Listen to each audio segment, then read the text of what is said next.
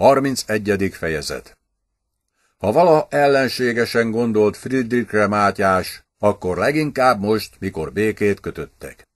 Volt ennek a Friedrichnek egy bámulatos tulajdonsága, amely most már ingerülté tette Mátyást, a szívóssága. Friedrich nem volt a közepes átlagnál eszesebb ember. Nem volt benne nagyvonalúság, erő, nagy célokat rajzoló képzelet. Gyáva volt, ingadozó, készületlen és kicsinyes. Amellett eszközök is alig álltak rendelkezésére. Nem jelentős területű örökös tartományai édeskevés jövedelmet hajtottak, soha nem volt pénze, fűnek fának tartozott szégyenletes adóságokkal. Tartományai katonát nem adtak neki, sereggel egyáltalán nem rendelkezett, zsoldosokat, mint rossz hírű fizető, alig tudott fogadni, a bajba került. Amellett folytonos belső zavarokkal akadt baja, népe ki nem állhatta, osztrák nagyurai lépten nyomon máshoz pártoltak. És mégis 38 évvel ezelőtt lett német-római király és 26 éve császár, azóta folyton ott ült a trónon, és együtt tartotta a hatalmas német-római birodalmat. Megalázták, szorongatták, szégyenletes békébe kényszerítették, Saját népe megostromolta a saját fővárosában, rangja és élete sokszor hajszálon lógott. De szívossága már rejtélyesnek tűnhetett fel.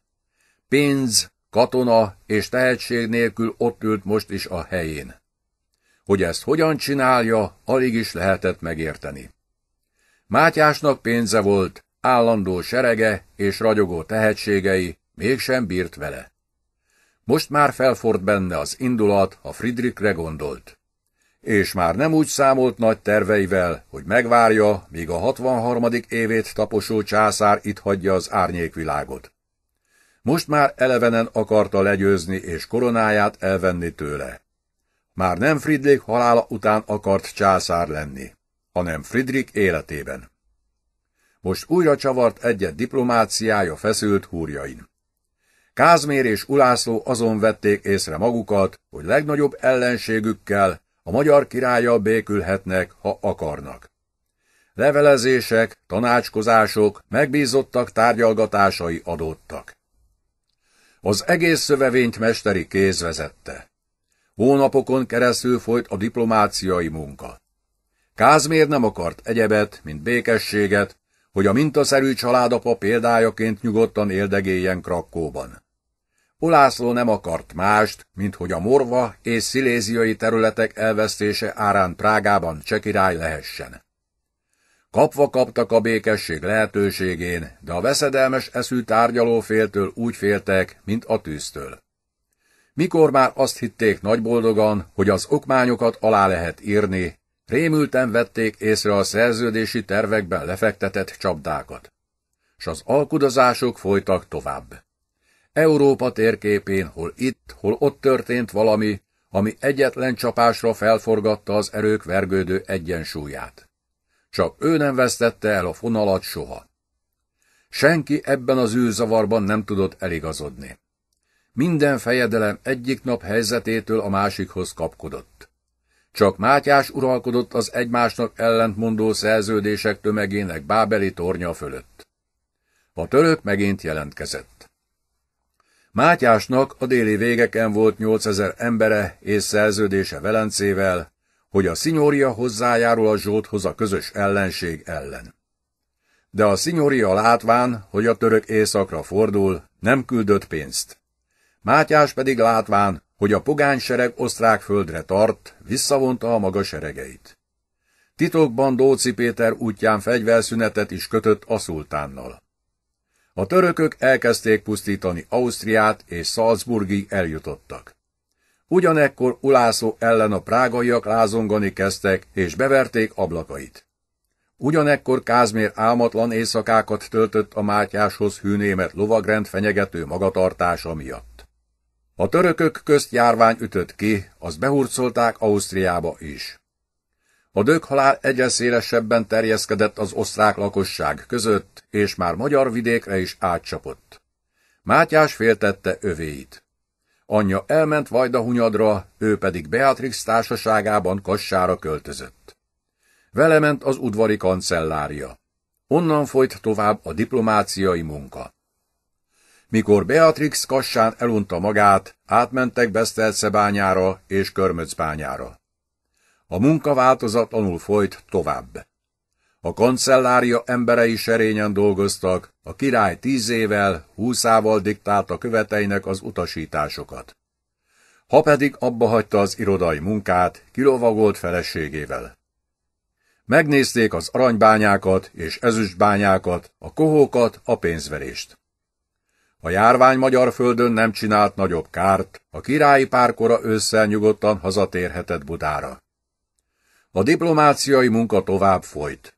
Friedrich lázasan kapkodott pénz után a bécsi hírek szerint. Egyik lyukat a másikkal tömte be.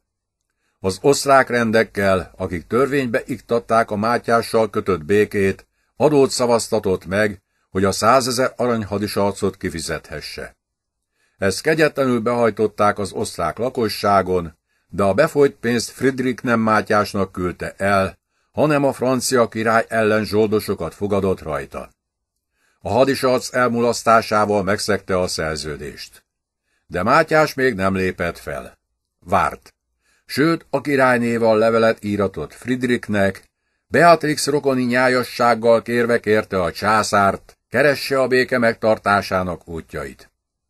Ez a levél a jövő használatára íródott. Mikor majd hivatkozni lehet arra, hogy Magyarország milyen unszolóan igyekezett fenntartani a békét. Már december felé járt az idő, mikor Mátyás az okmányok egész sorára ráírta a nevét, Matthias Rex. És Bakacs Tamás belenyomta a címeres királyi pecsétet a sistergő piros viaszba. Ulászlóval és Kázmérral megvolt a béke. A király odaadta feleségének a megállapodást. Mindjárt meg is magyarázta neki. Ezt úgy olvasd be a, mint valami nagy-nagy épületnek a zárókövét, amelyet egy álló esztendeig építettem. Halld meg, mi ez az épület? A császár hatalma teljesen béna. A francia királyra bármikor számíthatok ellene. A pápa mellettem van, a török ellen nélkülözhetetlen szüksége van rám, amellett atyád szövetségese. Svájccal tíz évre szövetséget kötöttem, számos befolyásos államférfiót rendes évi fizetést kap tőlem, diktálhatok nekik, amit akarok. A Pfazi választóval szövetséget kötöttem. A Wittelsbachiakkal szintén Bajorországa számíthatok. A száz választó szövetségesem, Murvaország és Szilézia az enyém. Ulászló szövetségesem. Lengyelországgal rendben vagyok. Egész Európára számíthatok. Friedrich tehetetlen velem szemben. Nem tud fizetni, serege nincs, barátai nincsenek. Akkor teszem a kezemet a torkára, mikor akarom. És mikor akarod? Én már úgy szeretnék császárné lenni. Előbb leszámolok a törökkel. Elintézem úgy, hogy jó néhány évig szabad kezet kapok. Akkor aztán rámegyek Európára. Ha Nagy Lajosnak négy tengere volt, nekem is lesz négy tengerem. Tudod-e azt, hogy számos német diplomata már is megtanult magyarul, mert a diplomáciában ez kezd fontos lenni? Tudod-e azt, hogy a te hazádban a kereskedelmi szerződések kezdik kikötni a magyar pénzben való fizetést? A magyar trónörökösre, a te fiadra én olyan hatalmat fogok hagyni, amilyen nincs még egy a világon. A két uralkodó, aki egyszerre viselte a cseh királyi címet, személyesen találkozott a békés viszony elmélyítése céljából. A király találkozót Olmüszbe tűzték ki. Mátyás ragaszkodott ahhoz, hogy az ünnepség olyan városban folyjék le, amelyet ő hódított el a cseh koronától. Mind a két király útvonalán szöveg jelezte azt a pontot, ahol le kell szállniuk lavaikról. Mátyás és kísérete a szövegnél leszállottak. Ugyanekkor szállt le Ulászló is. Egy azon pillanatban érkeztek a fősátor előtt egymás közvetlen közelébe. Egyszerre nyújtották ki jobb kezüket, egyszerre szorítottak kezet, egyszerre ölelték át egymást, és egyszerre csókolták arcon egymást jobbról és balról. Isten hozott, Ulászló testvérem és barátom! Isten hozott, Mátyás testvérem és barátom. Ezt is ugyanabban a pillanatban egyszerre mondták, mintha csak vezényelte volna őket valaki. Akkor karonfogva indultak a fősátorba. Át kell adnom neked, cseh királynak, mondta Mátyás. Magyarország és Csehország királynéjának szíves üdvözletét. Hálásan köszönöm magyar és cseh királyi felségednek. Én viszont a lengyel király szíves üdvözletét tolmácsolom. Ezzel az előírt közjogi részleteknek eleget tettek, cseh királynak is szólították egymást. Mátyás helyet mutatott ulászónak, aztán kulcsot vett elő dolmánya zsebéből, és kinyitotta az ében faasztalon álló, olasz ötvöstől való bronzládikát. Abból iratok kerültek ki. A két király békeszerződésének szövege. Azt hiszem, mondta Mátyás, fussunk át ennek a szerződésnek minden pontján. Itt van két példányban. Én majd hangosan olvasom, te kísérheted az olvasást a magad példányán. Ahol bármelyikünknek mondani valója lesz, oda jelteszünk a szövegben, hogy később részletesen tárgyalhassunk. Nem lesz nehéz munka, hiszen üzenetedből megértettem, hogy a lényegen semmit sem kívánsz változtatni. Nem kívánok én sem. Ez a béke szilárdnak és tartósnak ígérkezik. Olvashatom? Dobzse, felelte Ulászló, akinek ez kedvenc szava volt, minduntalan használta. Mátyás olvasta a latin szöveget. Minden pontnál megállottak beszélgetni.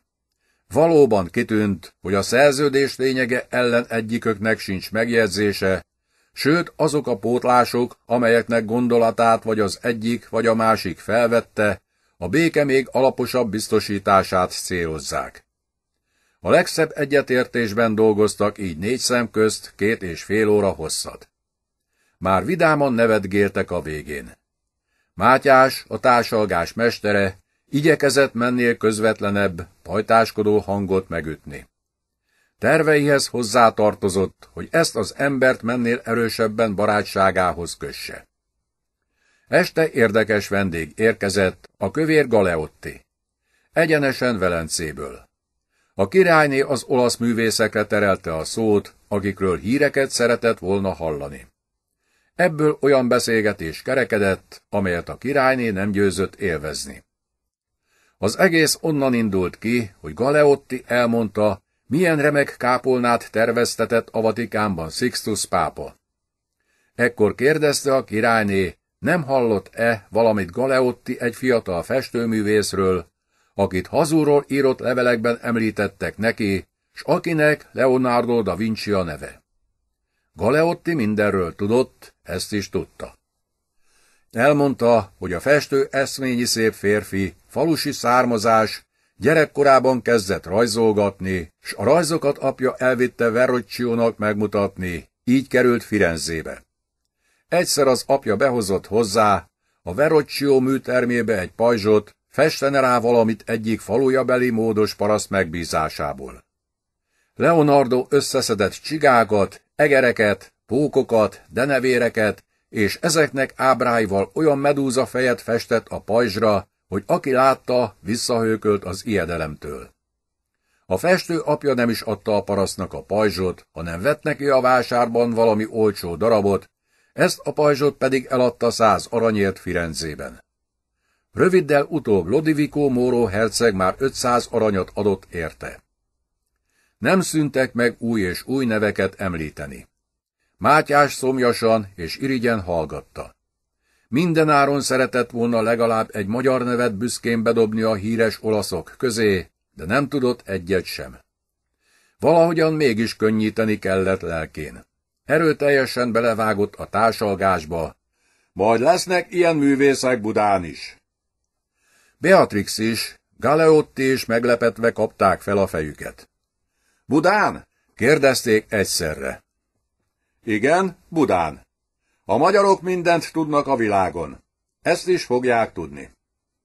Angyalom, szólt Beatrix megbocsátó mosolyjal. Ami magyarjaink bizonyára nagyszerű fajta, vitézségüket senki sem vonja kétségbe. De a művészi tehetség, attól tartok, hiányzik belőlük. Miért nem akadt eddig is világhírű festő vagy szobrász, aki magyar lett volna? Mert a művészetek fejlődéséhez két dolog kell, mecénás és békesség. Nálunk mecénások sem teremhettek, mert a mi nagyuraink nem tudtak művelődni, képben és könyvben és szoborban gyönyörűséget találni. Nekünk folyton verekednünk kellett, hogy titeket, többi európaiakat megvédjünk a töröktől. De én majd rendet csinálok ebben az Európában. Magyarországomnak békességet és gazdagságot szerzek. És akkor majd meglátjátok, milyen képek és szobrok fognak itt teremni. A két egyetem már dolgozik. Minduntalan hallom, hogy igen sok a tehetséges ifjú. Két egyetem? kérdezte Galeotti. Úgy van, Terék Márció. Kettő. A Pozsonyi Egyetem mellett nem régóta Budán is van iskola. A domonkos rendiek kaptak pátenst, hogy taníthassanak. Persze csak egy fakultásuk van, de azért egyetem az is. Mához húsz évre szerte egész Európában tele lesznek az egyetemek magyar tudósokkal. És mi, olaszok? kérdezte Beatrix egy kis enyhe gunnyal. Becsukhatjuk a boltot? Te nem vagy olasz, hanem magyar vagy. De azt hiszem, elég későre jár az idő, és holnap sok a dolog.